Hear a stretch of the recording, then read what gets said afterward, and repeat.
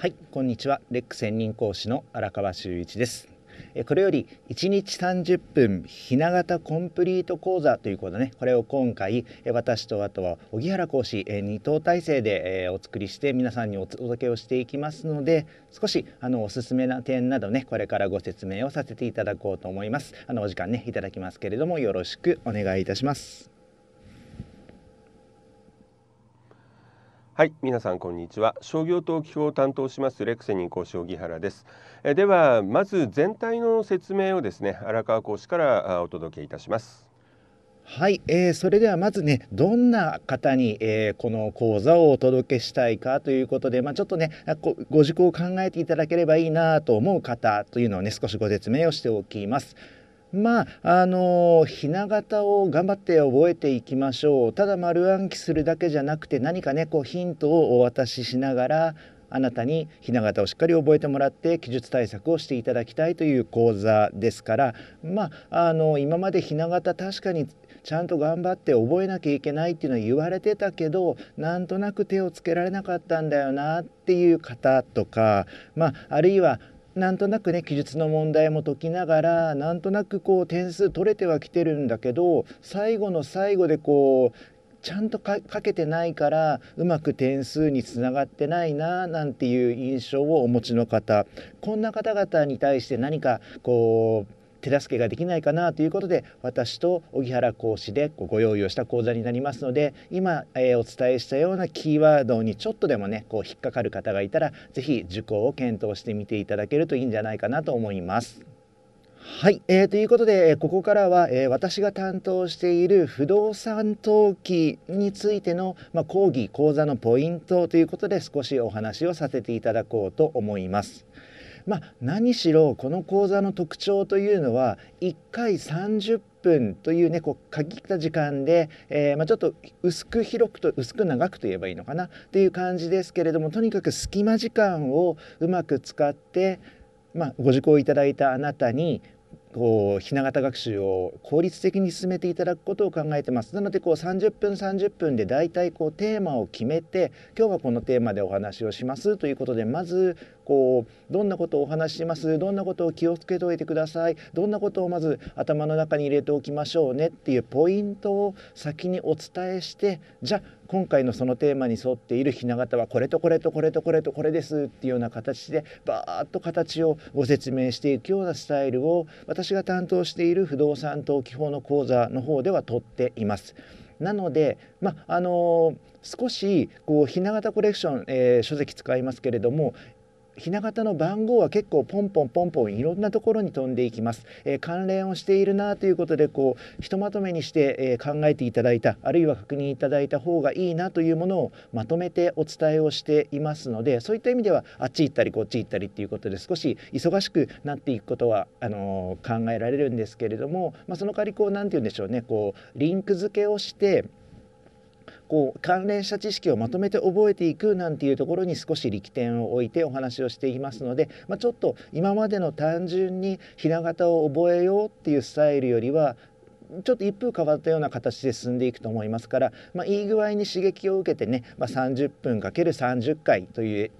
短めのスタイルを長く何回か重ねていく形ですけれどもあのお付き合いいただけるとひなひな形学習の,、まあ、の助けにはなるんじゃないかなというふうに自負しています。あとはそうですね、まあのその単元というかテーマごとにお話をしていきますよっていうお話をしたんですがだから例えばこれから所有権保存の話をしますとか所有権移転の話をしますっていうような進め方ではなくてどちらかというと事例に紐づくような形じゃあこれから売買についてのお話所有権の売買の話が出てきますけれども例えばどんなことがありますよねということで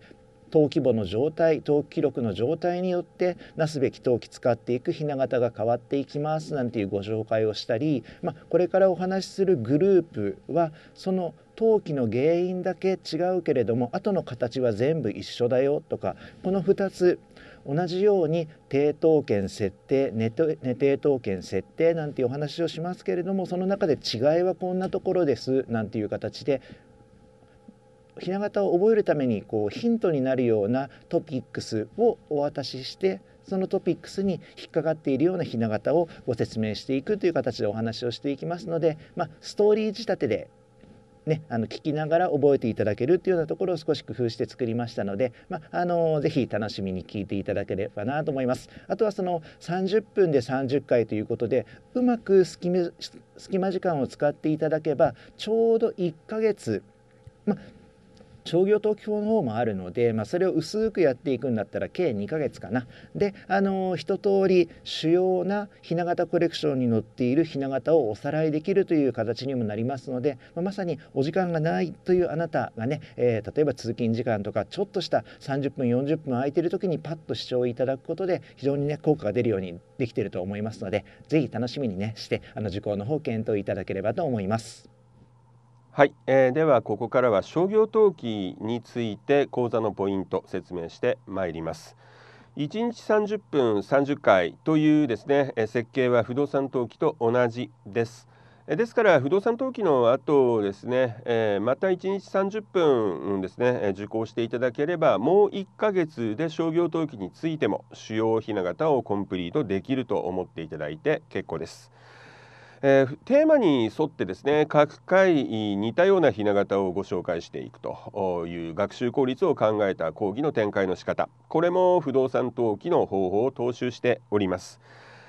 えー、ただですね、えー、商業登記についてはですね基本的には前から番号の若いものから後ろに向かって講義をしていくことになりますね。この点が不動産登記とは若干体裁が違うところになります。そうは言ってもですね本当に順番にやっていくのかというとそうではなく例えばなんですが新株予約権が発行される場合これ募集新株予約権の発行として新株予約権が発行されることもあれば取得請求権付き株式や取得条項付き株式の取得の対価として新株約権が発行されるということもあるわけですね。で,、えー、ですからということでうん取得請求権付き株式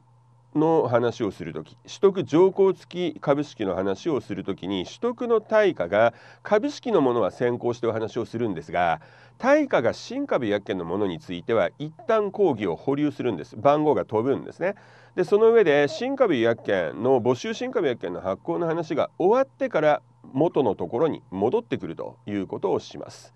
また例えば役員変更がかなりたくさんあるんですけれども、えこれは本当に番号が飛びます。まず取締役会設置会社について、えこれを基本として役員変更を全部見てしまう。その後取締役会設置会社でなかったらどういう点に差異があるのかと。いうことを踏まえてこれだけ拾っていく。でその後例えばですねうん指名委員会等設置会社だけ見る。または監査等委員会設置会社をこれとは別にまとめて、えー、一通り見るということをします。ですから役員変更のところに入ると本当に番号が行ったり来たりするということはあると思います。ただこれもね不動産登記で皆さんも慣れた状態で商業登記入っていただけると思いますので特に混乱はないかと思います。